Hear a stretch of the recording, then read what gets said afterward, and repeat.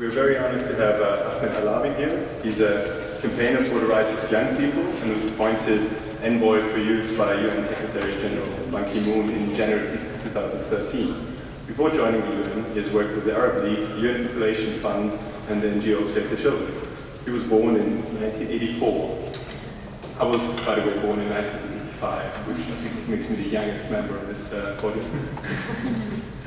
um, I'd also like to introduce Matteo Landi, who works with issues of youth unemployment and entrepreneurship at the United Nations Industrial Development Organization, and just took over the chairmanship or chairpersonship of the Interagency Network on Youth Development. He was born in 1978.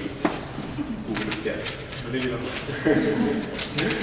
um, Christina Unterberger is director of the Austrian National Youth Council, an in independent body representing children and young people in Austria, for those of you who don't know.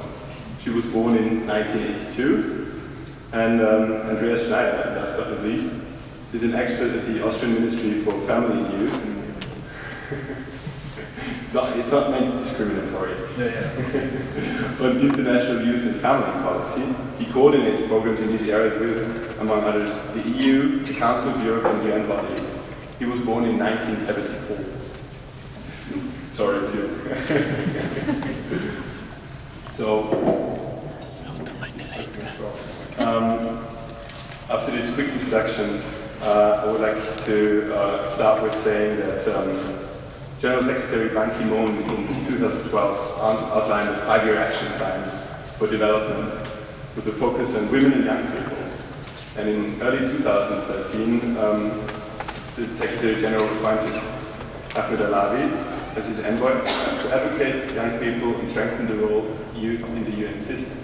Now, um, the UN system is, of course, very complex, and uh, so it is very important um, that this interagency network develops, implements, and reports on a system-wide action plan, which uh, helps facilitate the very important work done here. Um, right now, the UN and its member countries are working on a successor to the Millennium Development Goals, which you've probably all heard about, about mitigating poverty and other ills in the world. So the target date for those Millennium Development Goals right now is 2015, after which they will expire. And um, right now the UN is, um, and its member states especially are engaging in a post-2015 discussion on how to shape those new goals uh, for world development.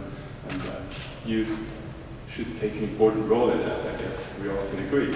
So my first question will go to Ahmad. Um, in your first year in office, you do work on the participation engagement issues especially. Um, last month you launched, you launched a crowdsourcing initiative for youth priorities in the post-2015 development agenda. Can you tell us more about your first year in office and priorities for the future? Thank you very much. Uh, thank you for having me and uh, uh, it's great to see you student from Vienna University and many colleagues who are among the audience, many familiar faces, many female faces, and uh, uh, also I can't stress how much I'm, I'm proud of the relationship that brings the UN and Austria, in fact, together. We share the same values, we stand for the same values and the same ideas, and I think the UN Charter, the uh, Universal Declaration for Human Rights, uh, are, exactly the, the reason why a United Nations has been called the United Nations because it's meant to unite nations uh, based on these values. And we will never be able to unite nations based on these values without having advocates and people who are committed to the Universal Declaration for Human Rights. In fact, I just recognize and realize that the only document that I don't disagree even with one single word written in it is the Universal Declaration of Human Rights. Isn't that amazing? It's a human-made document reached by consensus. I can't disagree with any single word in that document. So uh, let's always stand for that uh, that principle and these these common and universal values. Well, on your question, mean, how the year been, I think I still have black hair. no, no gray hair, at least so, so, so far. But uh, uh, the most amazing year of my life so far, Mean, uh, coming to, to represent and to work to advocate for the issues of 1.8 billion in person. Half of the world uh, citizens are under 25 years old. Uh, usually, if you win half of the votes, you will be elected to, to office in the UN, right? We're talking about half of the world citizens under 25 years old. The issue of youth participation, which you highlighted, is very much the issue of legitimacy for the future we want, or the development agenda we are debating at the post-2015. You can't design anything for the world today without uh, consulting and getting the views of the majority. Half of the world population under 25 years old, they're either children, adolescents, and youth. It's a must, and it's again, I mean, including youth in the development debate is a question of legitimacy. You can't have any legitimate framework for development in the post-2015 development agenda without engaging young people. Now, post-2015, MDGs, SDGs, OWG, now uh, what else? All these young journalists. Let me explain it in the most simple terms. What does it mean to have development agenda? We are in Europe. Europe, you know the term social contract, right? You know social contract. I think one, uh, the most revolutionary terms and concepts in the modern history, trying to understand what a social contract means. For me, what this word means today means a development contract. A development contract that could recognize it's a shame in everyone to accept that in the 21st century, the contribution of women is still debatable, whether they deserve to be given a seat or not. It's a shame that 1.5 billion are still living in conflict zones.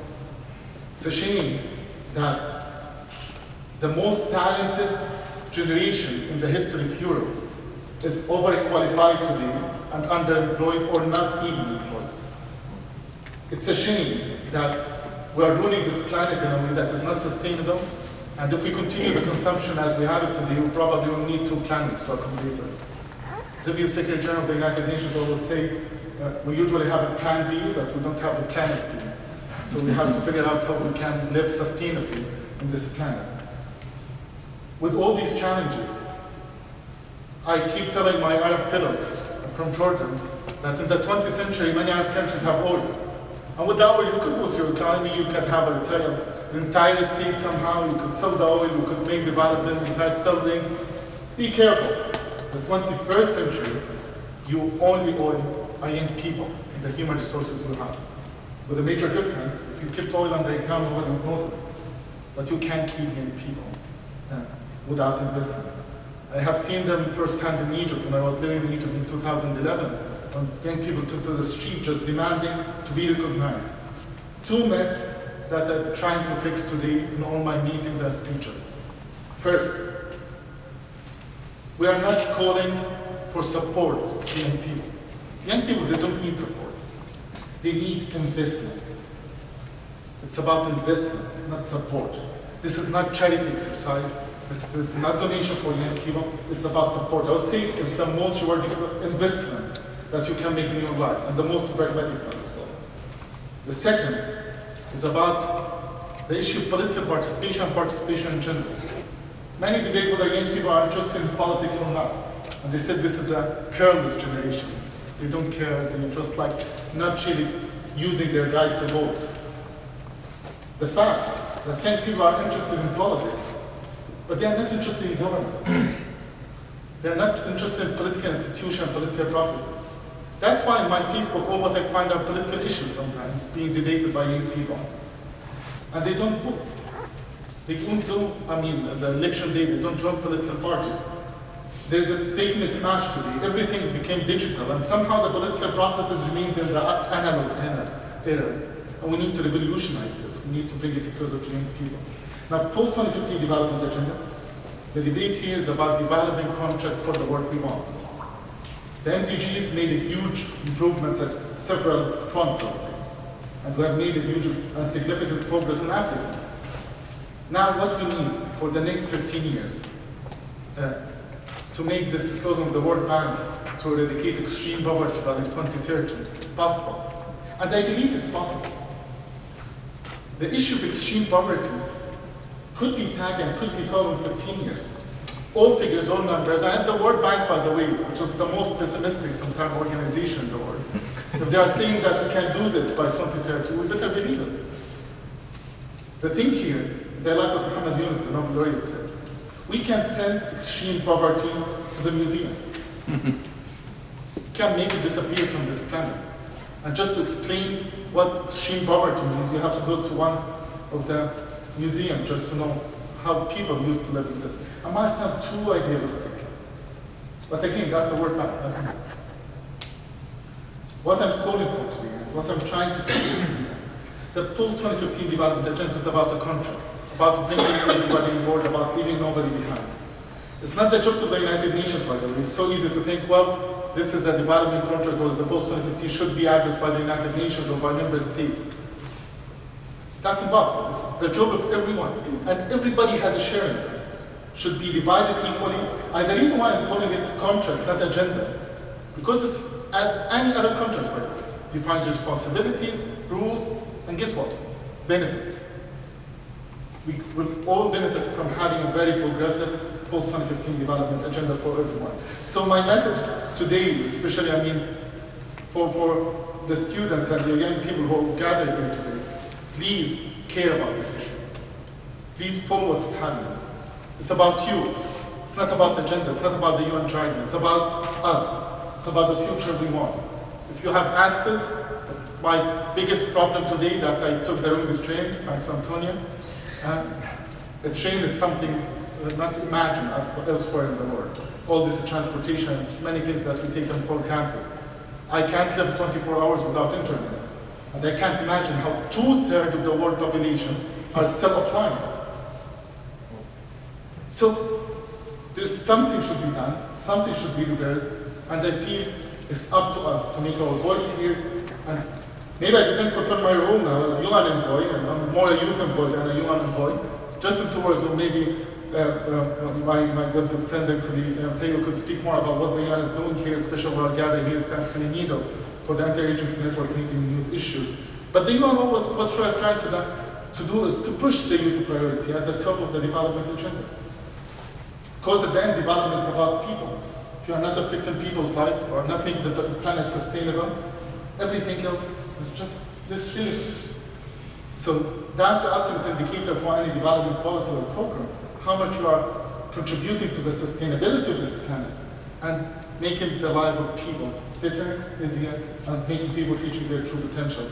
That's the commitment of the UN, and with that I'll leave it to, to other panelists. Thank you. Excellent. Thank you.